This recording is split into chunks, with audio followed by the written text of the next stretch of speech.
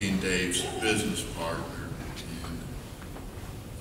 And in the form that Dave would, if Dave was up here, he would, uh, spent the week preparing his speech. And after I, after I prepared my speech, I, I get the call from Callie, and she said, we'd uh, appreciate it if you kept the time down a little bit,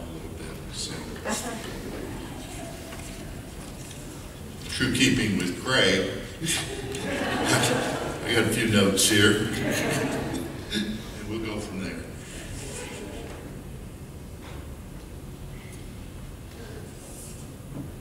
Dave and I had a, uh,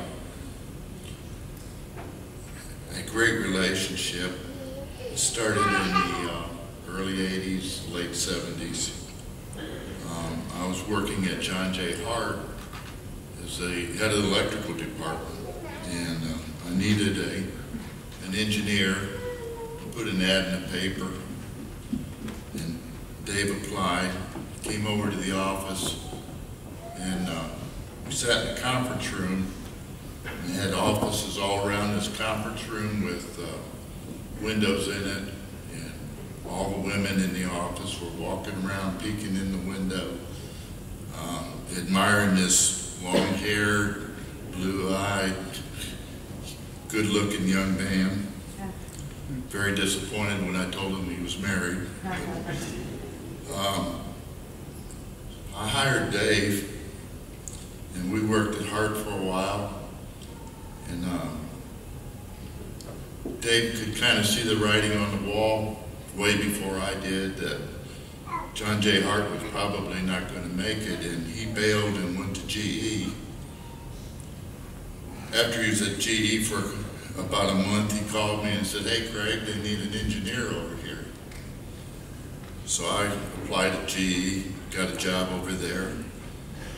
Um, things weren't going real well at GE after a few years. Dave went to W.L. Thompson, called and said, hey Craig, they need an engineer over here. I went to W.L. Thompson. Um, and Dave uh, decided that that wasn't really a good place for him. He went to Reynolds Smith and Hill.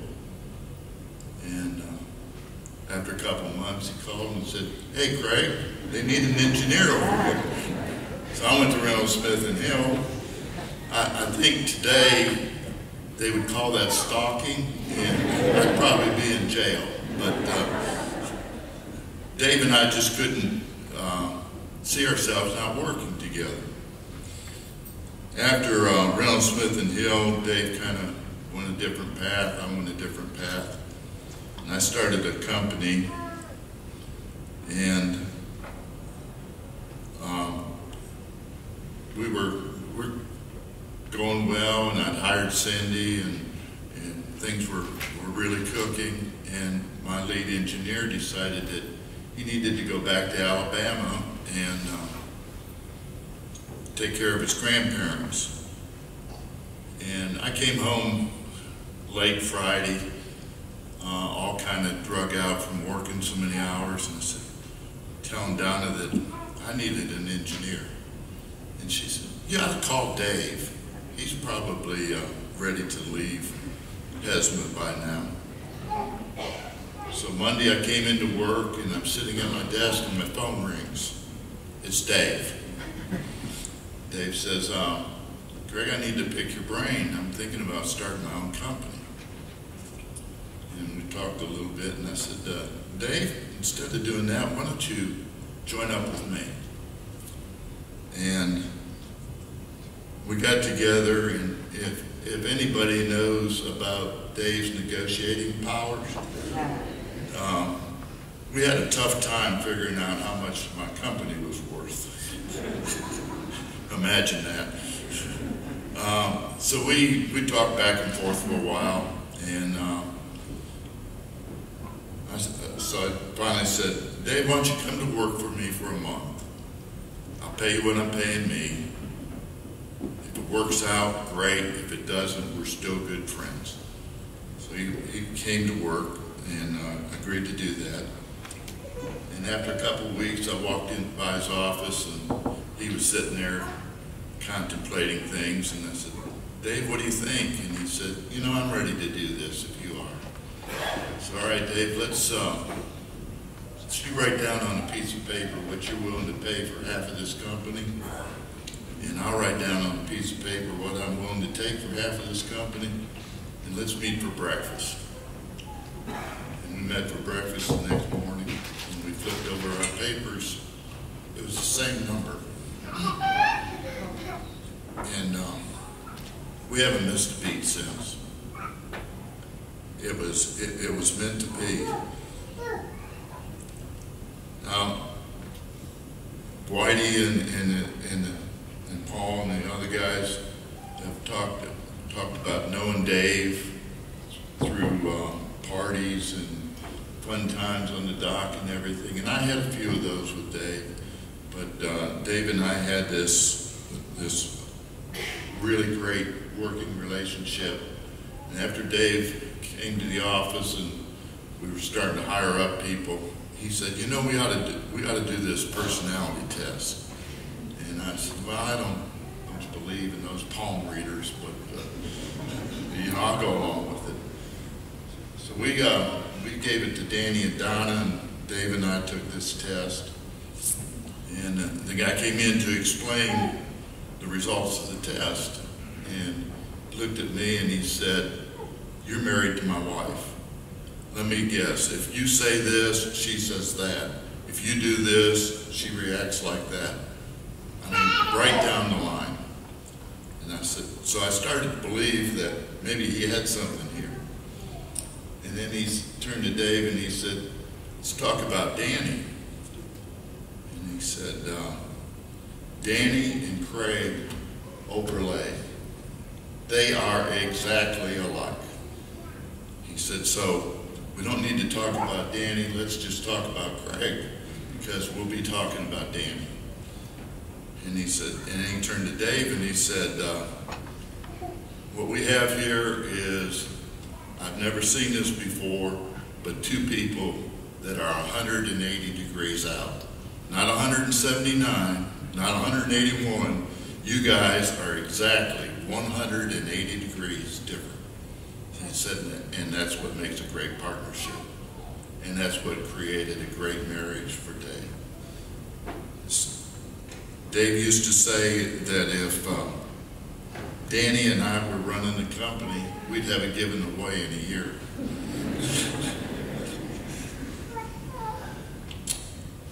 People um, go through life and they leave legacies and examples. And I, uh, I always look to Dave as, as a leader, and, and he could be a good follower, but he was a great leader. And he had, he had many titles that, he, that I feel like he left a great legacy. When I, when I first hired Dave, I didn't know how that guy ever stayed married. Going fishing and hunting, and he, he never was, he was never home. But when he had children, he turned into an exemplary husband and a, and a great father. He talked about his kids all the time we got together as, as families and, and had a great time with his kids and our kids. Um,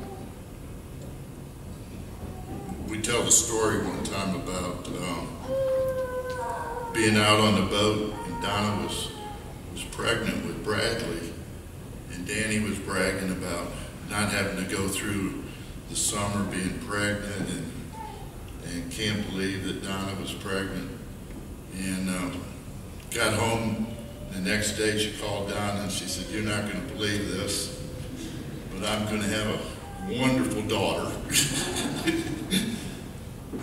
and uh, and and so they they they bonded over being pregnant at the same time, and and only like women can do. as a friend, Dave, Dave has never met somebody that he didn't become a friend with. He was a great friend, always had your back. Um, they say the only thing that you can take to your grave is your secrets. So when I, uh,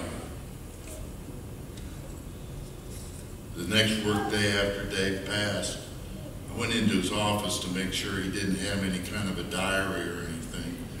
I assure you that, uh, I was worried that some of those secrets that we have that need to go to the grave may have been written down somewhere.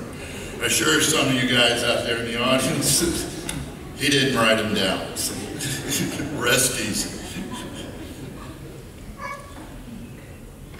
Dave, um, Dave was a great Christian. And by that I mean there's a lot of people who walk around talking the talk, but they don't really live that life. Dave walked the walk. He was a great Christian. And Dave and I had a had a saying to support each other that we got your back. And uh, the last night I visited him in the hospital, I held his hand and I said, Dave, I got your back. And he opened his eyes and he squeezed my hand twice. Dave, I've got your back.